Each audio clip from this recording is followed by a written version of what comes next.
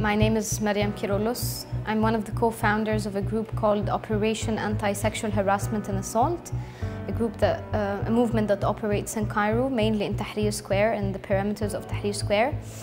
Uh, we were founded in November 2012 as a reaction to all the mob assaults that happened in Tahrir.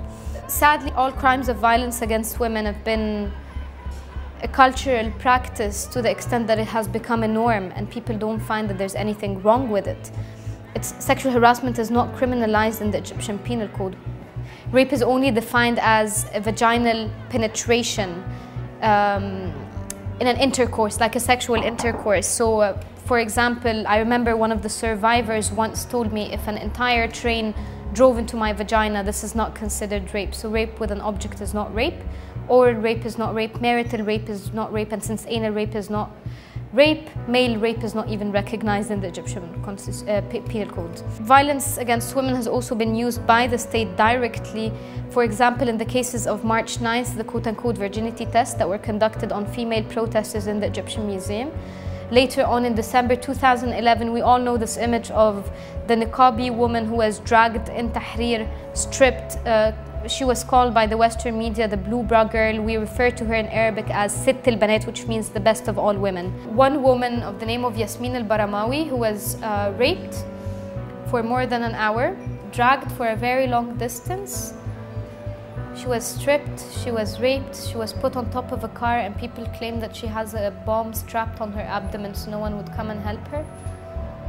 And this entire time, Yasmin had her both of her hands on her crotch and this was the only part remaining of her pants and the reason why I'm sharing her story because she came on public TV which is a revolution in itself and told everyone her story I think that's one of the very few things that we won so far in the revolution is the number of women who are speaking up about their assaults and about their experiences.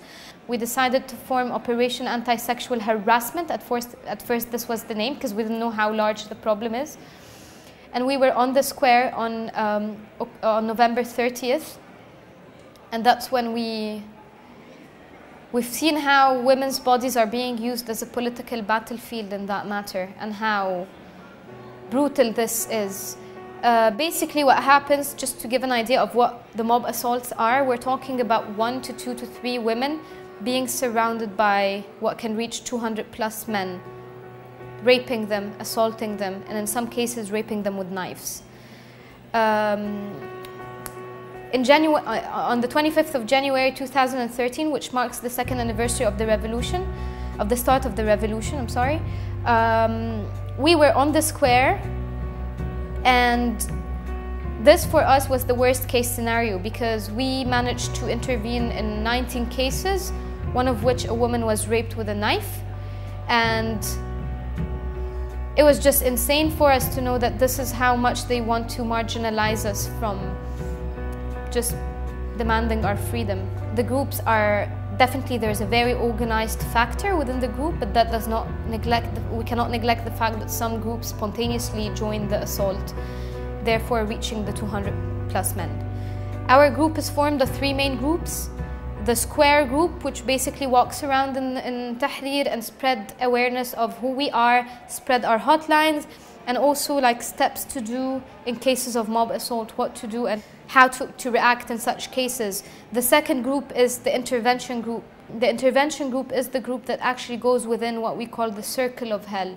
And our main goal is get the woman out. That's it. The third group is the safety group, which basically takes, takes care of the survivor post the assault. And that's by offering safe houses, cars for transportation, legal and, and, and, and uh, medical assistance, whether psychological or physical.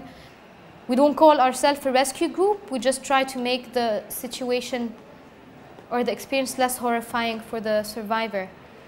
I remember one uh, volunteer told me once when I was very disappointed, he's like, we got them out when maybe they were raped, but we got them out before they were killed. And um, maybe that's more or less how we try to, to, to work.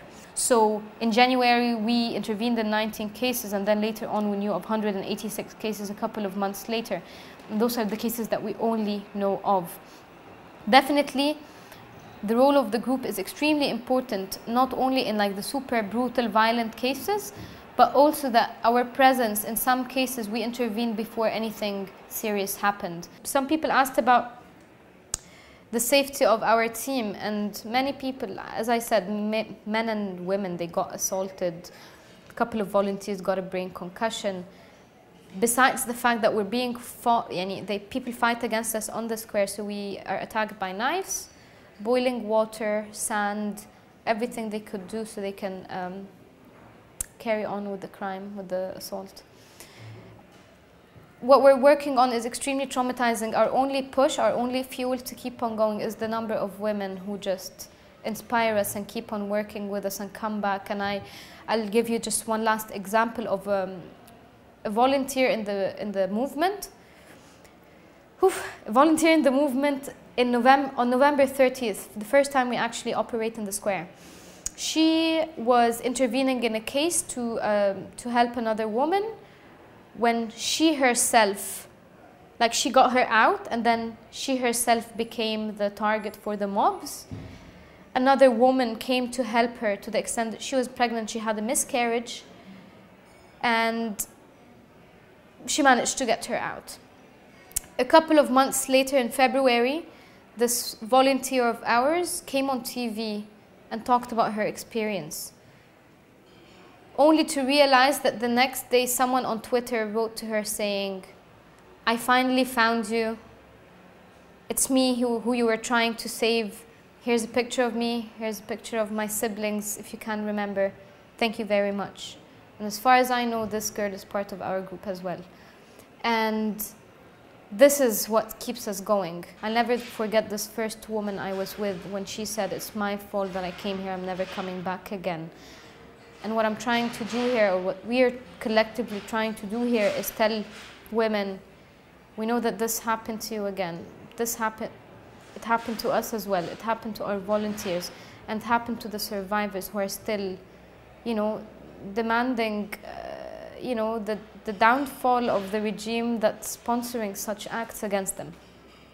Just to be positive about this, there are groups, there are many groups that have been formed na nationwide to um, work on such issues, groups that are working on the ground. We're talking about young men and women risking their lives, their mental health, their vaginas, everything, just to tell women they're never going to let, we're never going to let them, you know, marginalize us from our revolution. And in a way, the number of women that started to speak up uh, about their experiences is just fascinating. I am so happy that they are talking, and this is this is something that only us would really know how revolution. It's it's a very revolutionary act, and we were always um, we were always raised to to, to to act in a certain manner when we're sexually harassed. Even the word sexual harassment is, is, is newly used. We, at first we claimed, um, or people used the word um, which means an act of flirtation. By this you're sugarcoating the, the crime. And we were raised to just walk on the street and if we hear anything that we don't like, we just ignore it and keep on going. And we knew that this is not going to change anything. So we stop, we confront, and we demand our basic right as human beings to walk on the streets safely. We demand public spaces and we demand public spaces and protests even if they're against the government. In my opinion, my very humble opinion, I find that one solution for this is just, I always believed and dreamed of a strong feminist movement in Egypt that fights everything that we're against fights capitalism, patriarchy, racism, nationalism, homophobia, uh, the long list of, of, of things that we're against. The Egyptian revolution continues and without women and their resistance, I don't think the revolution will mean anything. And honestly, what keeps me so positive is Egyptian women, basically, and how they're resisting so much because no one, as I told you, recognizes them. No one recognizes how hard it is, like their very own presence in a demonstration is a form of resistance. They've been trying so hard to marginalize us. And they know that if they stop them from going to protests, the next day they'll stop them from walking on the streets, the next time they'll stop them from, you know, working. And this is not going to happen. We'll keep on resisting till the last breath.